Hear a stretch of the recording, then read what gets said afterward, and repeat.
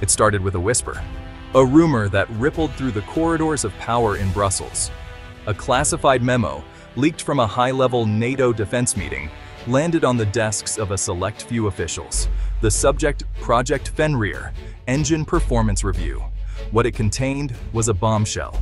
The memo detailed covert flight tests over the Swedish Arctic, featuring a Saab Gripen E unlike any before. This jet was faster, quieter, and more elusive than any Gripen on record. The data was so extraordinary, many dismissed it as a typo or disinformation. But as intelligence analysts from Washington to Berlin scrambled to verify, a startling picture emerged. For years, Sweden and the UK had secretly collaborated, fundamentally transforming the Gripen E. The memo was a revelation, a carefully timed disclosure of a project that redefined fighter jet capabilities. It described an aircraft with an engine signature so faint it barely registered on advanced thermal sensors. A jet that could take off from icy runways, stay airborne longer, and carry a formidable payload. The implications were immediate and profound. This wasn't just an upgrade, but a paradigm shift. The Gripen, once seen as a second-tier fighter, had become a contender for dominance in the high north.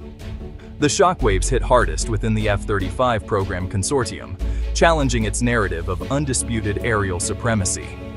The memo suggested that focused, clandestine innovation could rival, and in some scenarios, surpass, the multi-trillion dollar F-35. More than a technical report, it was a declaration the rules of aerial supremacy were being rewritten. The game had changed, and the world was watching.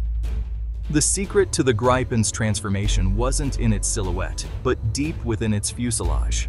Project Fenrir, a joint venture between Saab and Rolls-Royce, replaced the standard engine with a radically modified, bespoke Rolls-Royce Spectre. Engineers worked in isolated secrecy, aiming not just for more thrust, but for a smart engine, one deeply integrated with the jet's core systems. The Spectre's thermal management system recycled and masked its own heat, slashing the infrared signature.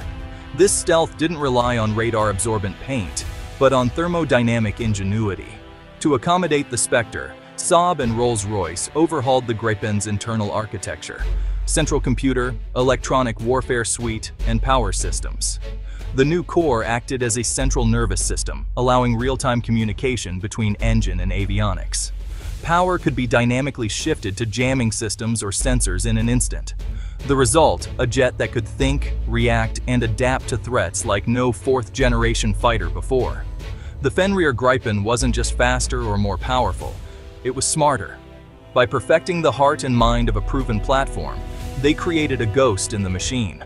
The Gripen's legendary low-maintenance costs remained, but its capabilities now put it in a class of its own, a hidden upgrade that changed everything. Project Fenrir's revelation came at a critical time for Arctic nations like Canada. As the Arctic becomes a strategic hotspot, defending it demands unique tools. Canada's vast, frigid north requires jets that can operate from remote airfields, fly long distances, and survive brutal weather. Traditional reliance on southern air bases is obsolete. Agility and resilience are now essential. The upgraded Gripen E, with its cold weather reliability and fuel efficiency, seems tailor-made for Canada's needs. The memo from Brussels highlighted capabilities that align perfectly with Canada's Arctic defense imperatives.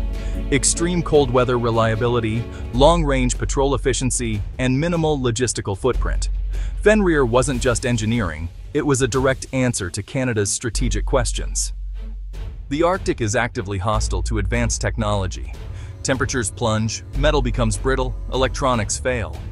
The standard Gripen was already built for Sweden's winters, but Project Fenrir took this further. The Spectre engine uses new alloys and synthetic lubricants that perform in extreme cold. A revolutionary preheating system slashes scramble time, warming the engine and hydraulics internally.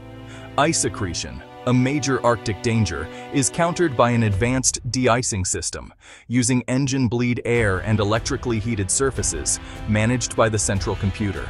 The system anticipates ice buildup, applying heat only where needed, conserving energy.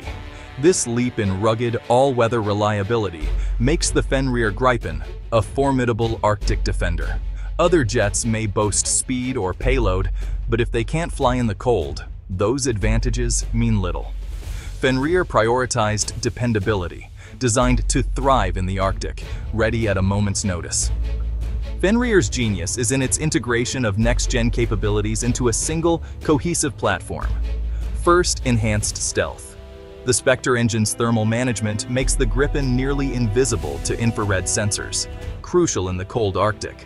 Second, raw power and efficiency. The Spectre boosts thrust, enabling supercruise and rapid response over vast distances, all while using less fuel. Third, a vastly expanded electronic warfare suite. The new core powers advanced sensors and jammers, letting the Gripen dominate the electromagnetic spectrum, blinding radars, disrupting communications, and creating phantom targets. In the sparse Arctic, electronic dominance can be more decisive than missiles. All these systems are built on cold weather resilience, robust de-icing, heated avionics, and hardened systems. The result? Stealth, power, electronic warfare, and reliability all in one. The Fenrir Gripen is an electronic wolf in sheep's clothing. It's not just an upgrade, it's a shock to the system, a new standard for Arctic air power. The Fenrir Gripen E's emergence forces a direct comparison with Canada's chosen F-35. The F-35 is a fifth-generation marvel, stealthy, sensor-rich, but complex and costly. Its radar-evading design is unmatched, but the Gripen's new engine gives it a critical edge in the infrared spectrum, vital in the Arctic.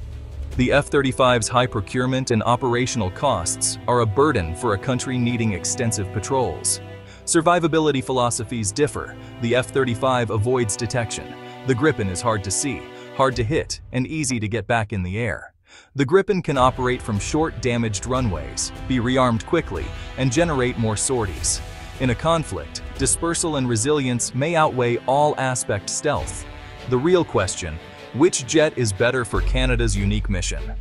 The F-35 is a high-tech scalpel, the Fenrir Gripen, a resilient multi-tool.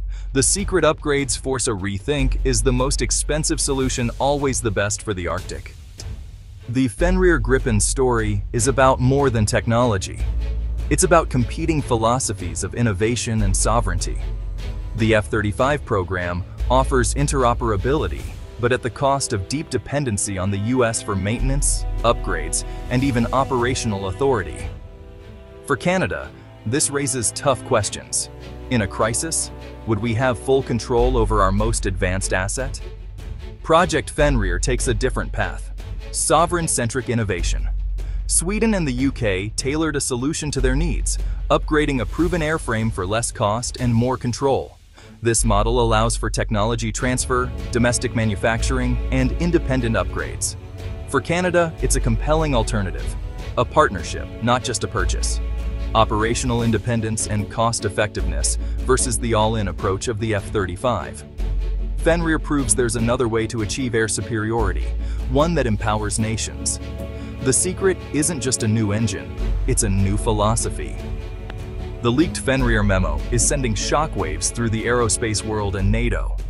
For decades, the US dominated the fighter jet market. European jets were seen as second tier. The Fenrir Gripen shatters that perception, showcasing European innovation and autonomy. The Sweden-UK collaboration signals Europe's willingness to pursue independent defense solutions. It sends a message, Europe is not just a consumer, but a world-class innovator. Potential customers worldwide now have a credible, high-performance alternative to the F-35. The Fenrir Gripen offers near fifth-gen capabilities without the price tag or dependency. It's a challenge not just to the F-35, but to NATO's adaptability in the face of disruptive innovation. As winter blankets the Canadian North, the nation stands at a crossroads. The Fenrir Gripen has thrown Ottawa's F-35 plans into question, offering a new, compelling option for Arctic defense. The choice is no longer just about generations of fighters, it's about two futures for the Royal Canadian Air Force. The F-35 offers deep US integration and unmatched sensors, but at immense cost and dependency. The Fenrir Gripen promises operational independence, resilience, and a jet engineered for the cold. It's a partnership that could bring technology and jobs to Canada and sovereign control over defense. The real question, what does Canada truly need to secure its sovereignty? The world is watching. The decision made now will define Arctic defense for generations.